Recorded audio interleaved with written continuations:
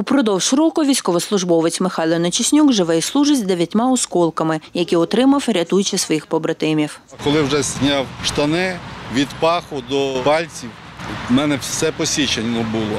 На сьогоднішній день е, врачам близько 10 осколків, уламків е, вдалося витягнути з боку живота, ліва частина з локтя.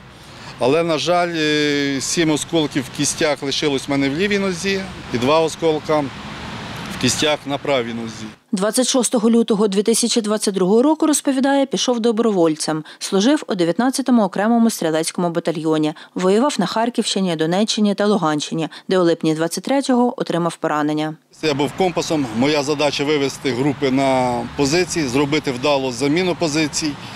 І якщо є якісь, як кажуть, неприємні новини, це хтось поранений чи хтось загинув, мені треба швидку евакуацію було зробити. Мені вдалося вивезти цих 4 CV-90, щоб зберегти техніку і життя людям. Це під обстрілами. Але на позиції сова залишалось ще 5 побратимів. В мене от не дозволила совість е, залишити і поїхати. За словами Михайла, разом із ним на порятунок побратимів вирішив військовослужбовець Віталій Фаза. Це все під шаленими обстрілами.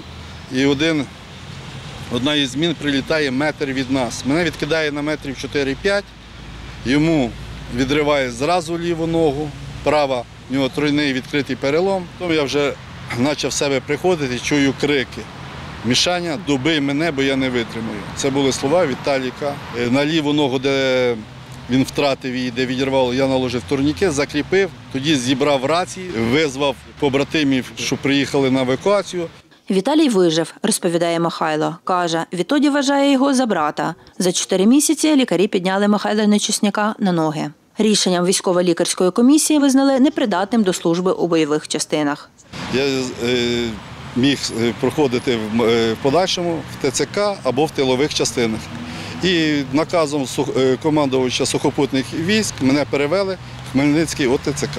Заступаю я черговим по збірному пункту і, виконую охорону військового об'єкту. В нашій роті всі з бойових частин, які мають групи інвалідності, але вони не подали на звільнення, хочуть е, бути разом до кінця до перемоги.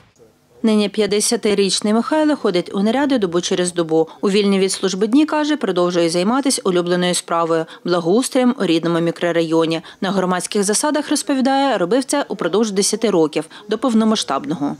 Найвагомішим називає вирішення питання прокладання водовідведення на семи вулицях приватного сектора, розповідає Михайло Нечиснюк. Від вулиці Петлюри е, до Святослава Хороброго вулиці. Кожна прибудинкова територія має новий сучасний дитячий майданчик або спортивний майданчик. Завдяки тому, що ми от разом об'єдналися, е, маємо, як кажуть, одну мету і маємо позитивний результат. Громада, депутат, міська влада оце є результат. Я прийшов з війни, е, знов до мене телефонують, поможли, маю досвід, е, знаю, куди до кого звернутися. Дружина Олена каже, Михайло цілеспрямований.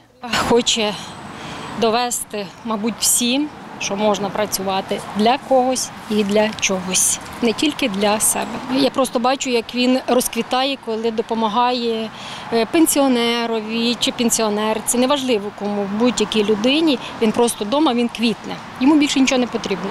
Михайло Нечиснюк каже, українець може бути щасливим і самодостатнім тільки в незалежній країні. щоб люди могли спокійно жити, планувати е, е, свої плани, е, жити щасливо, розбудовувати вулицю, двір, місто, державу. Тільки в вільній незалежній Україні ми можемо бути щасливі, бо рабів до раю не пускають. Наталя Сідова, Віктор Кривий, Суспільне новини, Хмельницький.